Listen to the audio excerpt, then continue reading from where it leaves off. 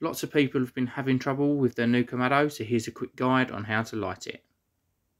Start with a couple of wax woodies and a charcoal basket about half full of charcoal.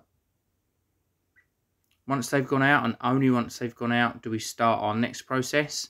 So the first thing to do is to put in our deflector plate if you're using one and you then close your lid down and open your vents up fully. So have your top vent fully open and your bottom vent fully open and this allows maximum airflow so that the charcoal can take inside the ceramic and warm up the ceramic.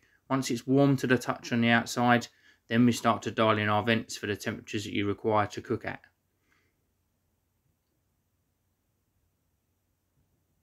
If you have any questions then just ask.